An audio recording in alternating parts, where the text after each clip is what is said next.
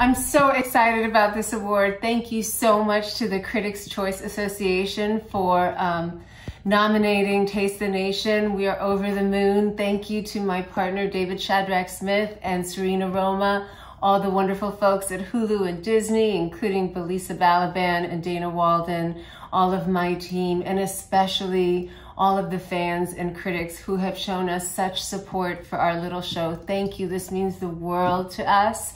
And I'm so glad. And I also want to give a special shout out to my Top Chef family and say congratulations for all our nominations there too. Uh, thank you so much for this award. It means the world.